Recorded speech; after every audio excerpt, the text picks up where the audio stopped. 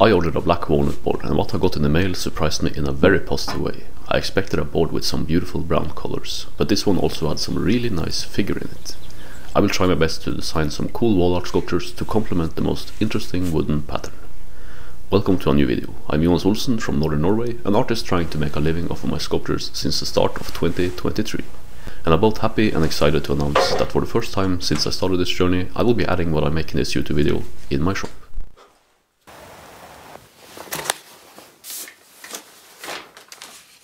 Since it takes a lot of effort to carve one of these pieces, it is important for me to work with a design I believe in.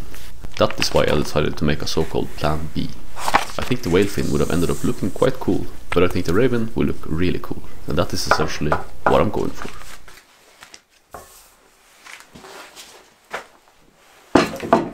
For over a year now, I have been carving sculptures out of walnut logs, so it's quite a motivational boost to switch it up and make wall art instead out of boards. If I had a larger piece of wood to work with, I would absolutely go for a raven with a wingspan of over a meter. That's about 3 feet for you Americans that uses the wrong measurement units. The main focus for this particular piece is going to be making the wings curve as if they are catching some strong wind soaring high up in the sky. The thickness of the wood is 6 centimeters, which allows me to create a deep three-dimensional look.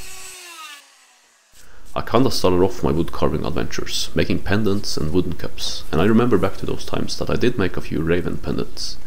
The experience I gained from that will come in handy for this carving, since my focus for the pendants was also to give the wings prominent curves.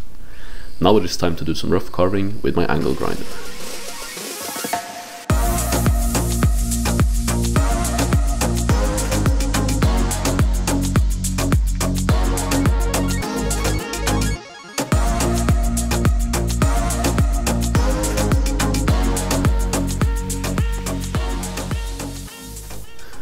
I became curious about how the colors of the wings would end up, so I added some water to display them. I really liked what I saw, and it made me want to do my best work possible to honor the beautiful wood I was fortunate enough to work with. I would have loved to know where this black walnut originated from and its backstory, but it is nowhere to be found. I will make sure to ask for this information when I order more material, since I find it super interesting to know about. Perhaps making a sculpture that has close bonds with the origin of the wood would be an interesting thing to do.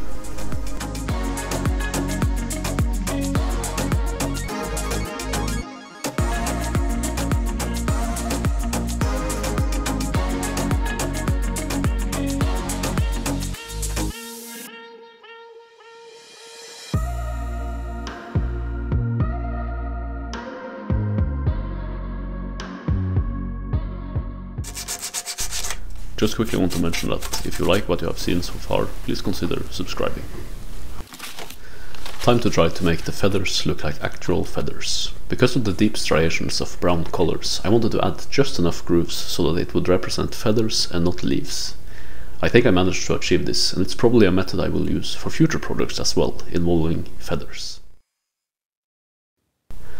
I feel like the wings needed some swirly curly stuff, so I freehanded something resembling that. And I liked what I saw, so I decided to go through with it, and I was kind of hyped about having the right wing swirls twist all the way to the underside of the wing itself.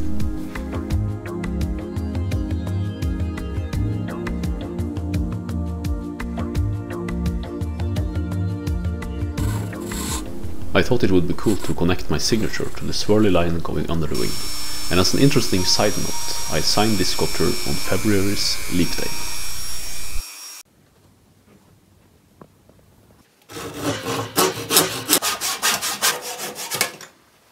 Using a belt sander like this made me a bit nervous because I was afraid I would not be able to maintain the correct angle for the surface, but the contrasting colors between the wood types gave me a pretty clear line to follow. I originally planned to only have one of these metal hangers on the Raven, but since the large feather at the bottom of the sculpture made the weight a bit uneven, I had to add another one so that the sculpture would hang straight. Here is how it looks before the oil. Man, it will be awesome with that 1 meter wingspan though. I will keep that idea in my mind for the future. Now it is time to apply the oil.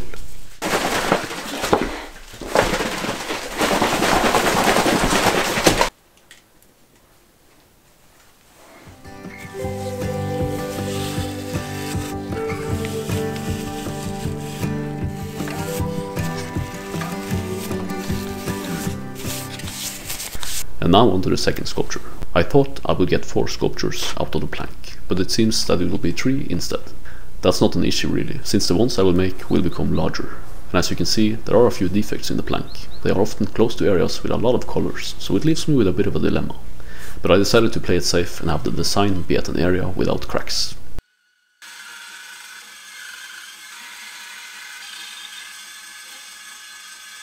As you can see, it is some cool looking figure in the wood on the Little Bears island, and also a bit on the left side of the sun rays. I have become better now at gluing these logs onto my project, so that they won't fall off halfway into the carving. And here is how it's looking outside of my workshop. The harshest winter is over. But I had many nice skiing trips through it. But you know, I won't lie, it's going to be nice with spring arriving soon.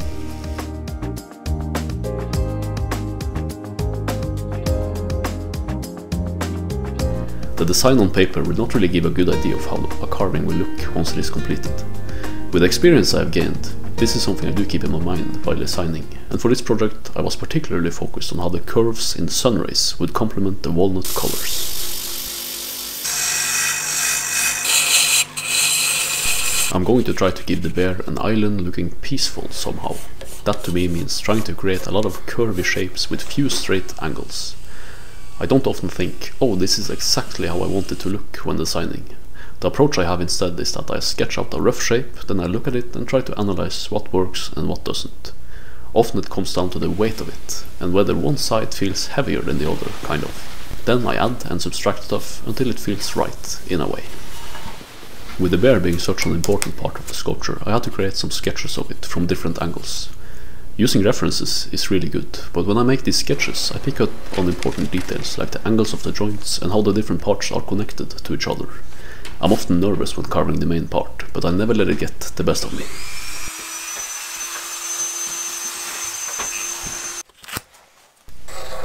I guess this is just how life is sometimes. I want to share that when I carved this bear, I had this incredible confidence that I'm going to get it to look the way I want it to look. And it is fascinating and a bit unbelievable for me to see the sped up footage of how I found the shapes bit by bit. I think this is one of the designs I'm the most happy with over the past years. Probably because of the size of the bear I went for, and how the race on the right side stops while the left side goes through the island and continues for a bit.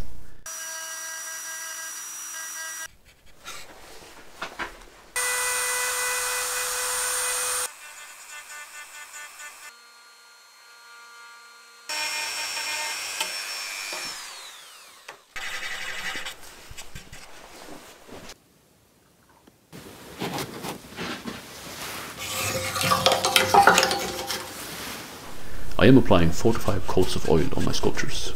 The oiling process for this sculpture took about 4 hours. The majority of the time comes down to making sure to wipe off all the excess oil in between the coats. Leaving excess oil would make it look lacquered almost, which is an effect I'm not looking for.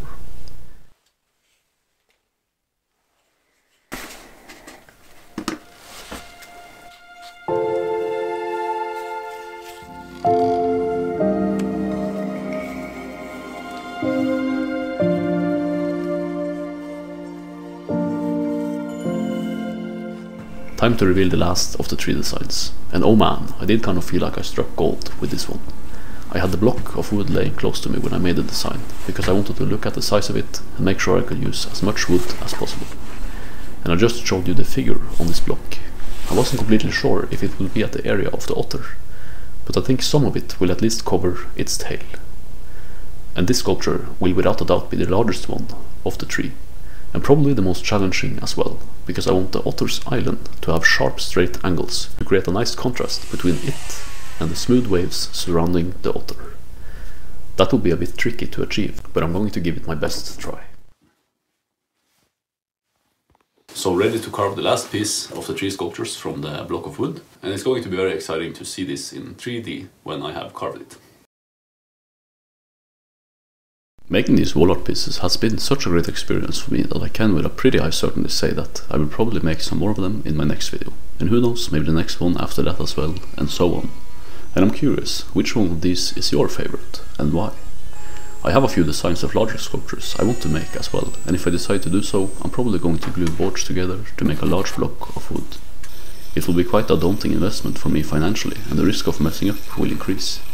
But I think I'm ready to take that step and it's probably a step in the right direction. It will be cool to have more of this color being at the location of the otter, but I kinda think it ended up really nice looking, being displayed on the large flat surface of the otter's island. By the way, the shape of the island gives me some kind of samurai vibes. And just like that, everything is finished except from the otter. Um, yes, I'm happy with the decision to make these swirls. So now I'm just gonna make some uh, sketches of the otter and then just go for it. And usually it turns out alright. Here are the main sketches I made for otter and some reference photos. I have a small 500 meter walk in between my home and my workshop. It is kind of nice in the morning because the walk wakes me up and gets me ready for a new day of carving.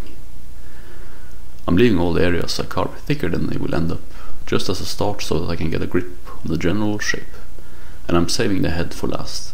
Throughout the working day, it becomes trickier and trickier to overcome challenges as time goes by. So when I carve an important area, like the head, I'm going to do it in the morning when I feel the most ready for it. Then I save sanding and less demanding stuff for the evenings.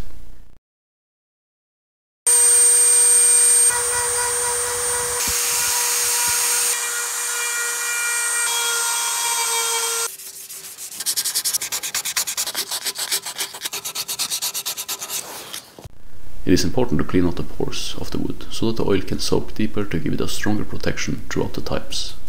I use a soft brush and sometimes a hard toothbrush and it seemed to do the trick.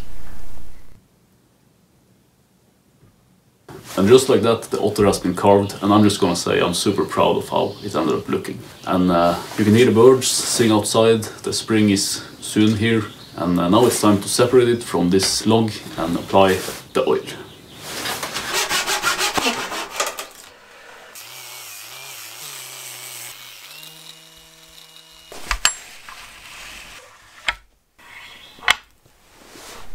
I look at how the sculpture appears without the oil. I feel like cheating when I make a combination between otters and elements of the sea, because they go so well together. And this was a crack that had been there from the start.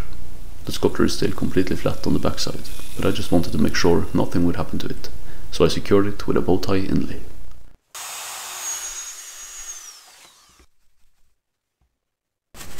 The otter, which I have decided to name Myra, is now finished, so let's apply the oil.